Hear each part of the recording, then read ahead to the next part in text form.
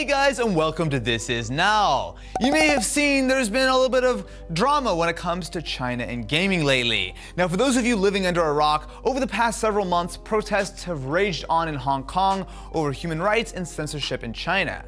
Now, up until 1997, Hong Kong was actually a British colony, dating all the way back to 1841, and up until that point, it was under British rule. When Britain relinquished Hong Kong back to China, even though it is still technically part of China, it now has a different set of laws than the mainland, which gives Hong Kong more autonomy, but more importantly, much more freedom, including freedom of speech and freedom of assembly. This became known as One Country, Two Systems. The protests initially broke out when a bill was proposed that would allow extradition of suspected criminals to mainland mainland China, where they would no longer be protected by Hong Kong's much more democratic policies. People feared that China would use this bill as a way to further censorship by targeting journalists or political activists, and since then the protests have become frequent and violent, with a number of cases of police brutality and, well, it's just, yeah. Even after the bill was rescinded in September, the protests have become much more so about freedom of speech and anti-censorship and, you know, overall human rights. So you might be wondering, what exactly does any of this have to do with gaming? Now you might be familiar with BlizzCon, where Activision Blizzard typically announce all of their major new games that are coming out, and last year's BlizzCon was considered pretty controversial. Hey, uh, just was wondering, is this uh, an out of season April Fool's joke? Uh, Regardless, this year's event is much, much more controversial, and there's already even protests happening over Blizzard's, shall we say, controversial support of China a few weeks ago. After their Grandmasters Hearthstone tournament, in a post-victory interview, the player Blitzchung promoted his support from Hong Kong's pro-democracy protesters, stating, liberate Hong Kong, the revolution of our times, which, uh, well, let's just say didn't go over too well. Blizzard immediately took away Chung's prize money and banned him from tournaments for a year, claiming that he violated competition rules. Oh, and for good measure, they also banned the two streamers that were interviewing Chung, for literally no apparent reason. Blizzard faced a massive amount of backlash from the community, with many users calling for a boycott of Activision Blizzard and all of their games. Many took to social media to show themselves uninstalling Overwatch or unsubscribing to World of Warcraft. It also didn't help that there were some suspicious authentication errors on their servers, preventing people from actually deleting their accounts. Even Blizzard's own employees joined in on the boycott, staging a walkout, including Mark Kern, one of WoW's original developers. Kern tweeted, quote, We are in a situation where unlimited communist money dictates our American values. We censor our games for China, we censor our movies for China. Now game companies are silencing voices for freedom and democracy. Yeah, okay, so I know that you clicked on a video talking about gaming, but this got real and it got real quick, didn't it? Ultimately, Blizzard did reduce Blitzchung's ban and reinstated his prize money, but that didn't really do much to sway public opinion. So why does Activision Blizzard, an American company, care so much about China's affairs? Well, it's actually simple and yet not so simple at the same time. For one, China is the largest gaming market in the world. Now, China is still a communist government, and unlike democratic and capitalist driven countries, business is far more regulated by the government. So if a company, oh, I don't know, let's say Activision Blizzard wants to do business in China, they really do need that government approval. Now, if Blizzard was to say, I don't know, offend China by streaming something about Hong Kong, then they could easily be blacklisted from the market with the flip of a switch and lose millions of dollars in the process. Now, of course, Blizzard is in no way alone with this problem. The NBA recently came under similar scrutiny after the Houston Rockets general manager Daryl Morey tweeted out support for Hong Kong, which angered the Chinese government and most of China. This led to the Rockets losing sponsorships, and Tencent Sports suspended all of their broadcasts of the Rockets games, as well as losing all of the merchandise from being pulled throughout of all of China. That's a lot of things. That's, yeah.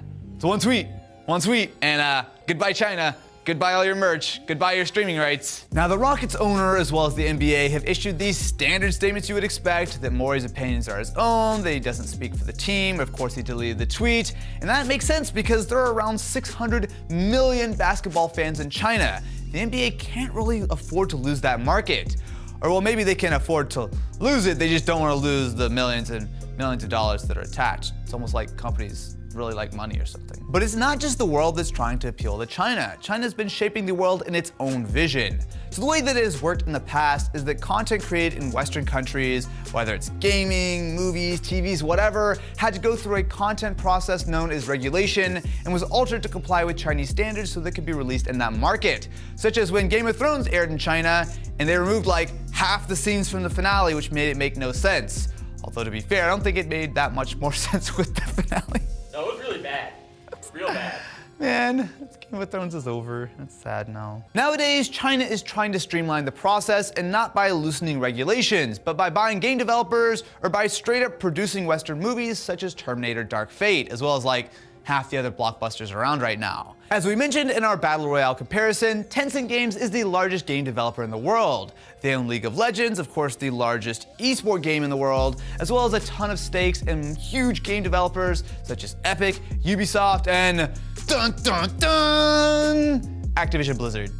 See, it all comes back around at the end. Their parent company, Tencent Holdings, is one of the largest companies in the world.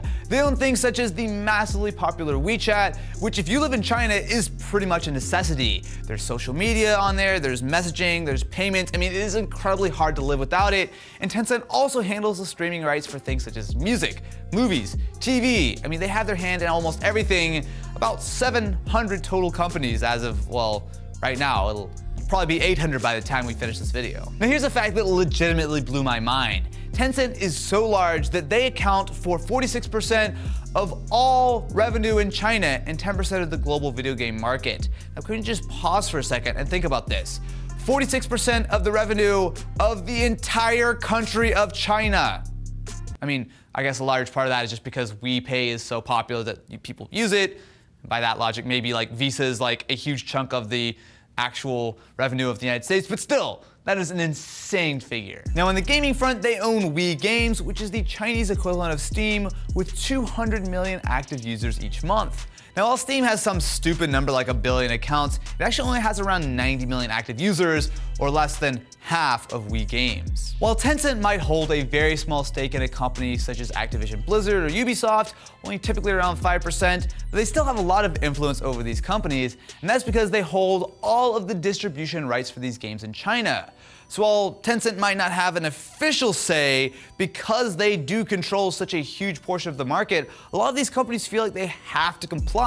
A good example for this is Rainbow Six Siege, where the global release of the game was tweaked to comply with Chinese game regulations, aka censorship, as opposed to the past, where Ubisoft probably would have just created a separate Chinese version of the game, which is typically what developers have done. However, times are changing, and well, it's kind of hard to argue the largest gaming market in the world isn't worth paying attention to. But now it seems that Tencent is set on shifting the global gaming market to their ideal business model, which is all free to play. Back in 2000, China placed a 15-year ban on foreign-made game consoles for fear of children becoming addicted to video games. Ooh. Although it's kind of backwards when you think about it because nowadays they pretty much just want people to play free to play games, which obviously are probably way worse. But regardless, it's fine. No one knew video games were a thing in 2000, right? Now, since the major consoles were all from foreign manufacturers, this effectively meant that there was no console gaming in China. Now, there were some loopholes, like a couple of Chinese knockoffs, but actually it was Nintendo who partnered with a local Chinese company named iQue in order to sell their consoles. Nintendo rebranded all of their products, so you had the iQue GBA, the iQue DSi, and the iQue Player, which is essentially an N64, but of course it was reclassified as a plug-and-play system. The entire console was housed in the controller and then plugged into the TV, so it wasn't technically a console. But even with systems like these available, gamers gravitated toward PC gaming, making up the vast majority of the market even to this day. The only problem was that most people couldn't actually afford to buy their own PCs, so a lot of gamers ended up going to internet cafes where players could rent PCs by the hour to play. Now, in most countries, internet cafes were big and then they became a quick fad. But in China, their popularity has actually grown. And let's face it, you're probably not going to buy games for a PC you don't own, and thus it's so much easier to jump into a free-to-play title such as League of Legends or Dota 2, and they quickly became the most popular form of gaming. Since game developers needed a way to monetize all of these games, that's when they started to add the familiar free-to-play elements like pay to win and loot boxes, and of course you can check out a whole episode on that right here. Now, Tencent has been making a push to include those elements in pretty much every IP they own stake in. Lastly, companies like Blizzard and Epic thrive on the growth of esports markets. In 2017, the League of Legends Championship had over 106 million viewers, which is more than even the Super Bowl, and a whopping 98% of those viewers were from China. Now, while Fortnite and Hearthstone are nowhere near those numbers for viewers, the industry has been growing steadily over the last couple years, and these companies need the Chinese market to thrive. Just at what cost? So the thing is here is that these companies are companies. They have to make money. And China being a massive gaming market really does require a lot of companies to sort of pick their poison, I suppose. But I think this is one of the very few times there's actually been a huge blowback, right? Blizzard has never seen, or really none of these gaming companies have ever seen this kind of pushback. And it makes sense because at some point you can't have it both ways. You either have lots of profit and lots of money and you work with China, or you kind of don't.